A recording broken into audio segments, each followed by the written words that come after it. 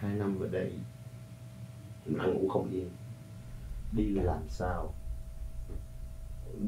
Có gia đình mình vợ con đó sẽ sinh sống. Và làm sao một đứa nhỏ có thể trưởng thành và đi đúng đường nếu một ngày đó mình bị trục xuất? Và không có không có người cha bên cạnh để hướng dẫn họ. Nguyễn Tín, 43 tuổi, là cư dân thành phố Houston, bang Texas. Anh là một trong hàng nghìn người Việt tại Mỹ đang đối mặt với viễn cảnh gia đình ly tán vì chính sách di trú được thắt chặt dưới thời chính quyền Trump. Nguyên nhân, anh từng thụ án tù hàng chục năm trước vì phạm tội cướp giật băng đảng. Những khó khăn của một người tị nạn mới bắt đầu hòa nhập cuộc sống ở Mỹ đã khiến anh phạm sai lầm. Tôi đâu có nghĩ những cái chuyện mình làm nó sẽ ảnh hưởng tới tương lai thực sự lúc đó mình cũng chả thấy có tương lai chỉ sống ở một nơi mà tiếng Anh không biết, giống như người câu. Nghe đài không hiểu, giống như người điếc người mù. Đi ra đường kỳ thị.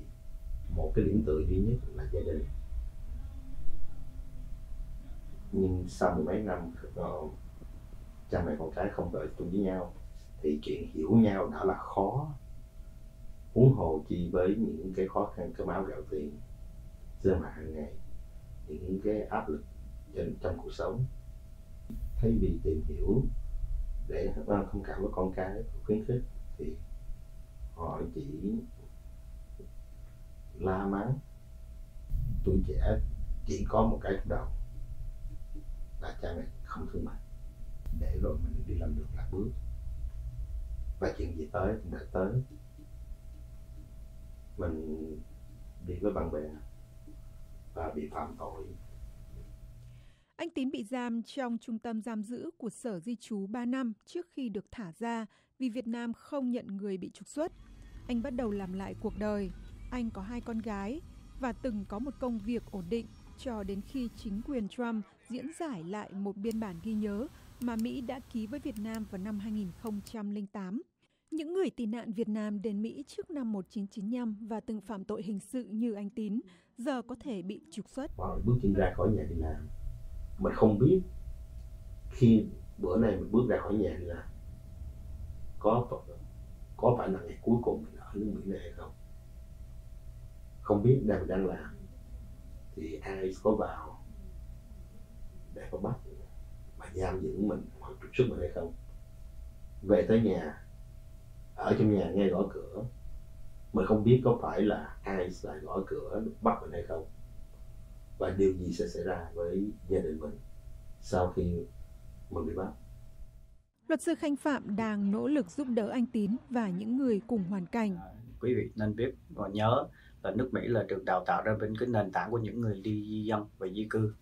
Và ví dụ những người đó họ qua đây họ cũng đóng góp với xã hội chứ không phải là không. Ví dụ họ cũng đi làm họ cũng đóng tiền thuế cũng có đóng tiền social security và họ cũng có đóng góp cho xã hội và nói chung cái những cái người Việt của mình mà có cái lệnh trục xuất cuối cùng thì phần lớn là nếu mà trước 95 là họ qua đây dưới cái dạng tị nạn mà nếu mà họ tị nạn xong họ có được thẻ xanh họ bị trục xuất mà được quay ngược lại cái về cái nước mà đã- họ đang xin tị nạn đó hoặc là coi như là họ đã xin tị nạn để mà được ừ, bảo vệ từ cái nước đó thì cái đó nó hơi không có công bằng đối với họ Đối mặt với tương lai bất định, anh Tín mong có sự thay đổi chính sách.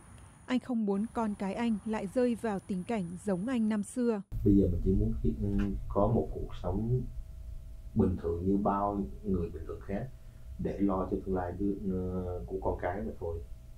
Mình là người phạm tội mà. Mình đâu có quyền để mà chống đối ai. Mình không phản đối không chống đối ông Trump.